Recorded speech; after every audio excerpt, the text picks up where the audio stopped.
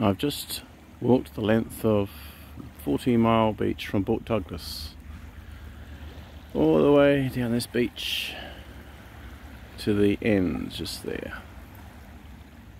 Now I've got to walk back.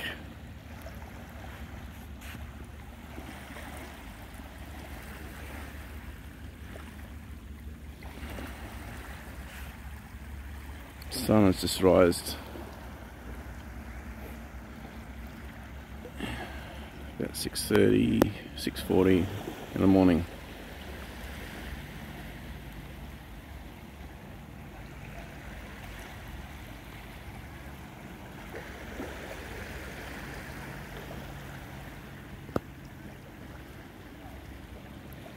Temperature's not too bad. Sweating a little.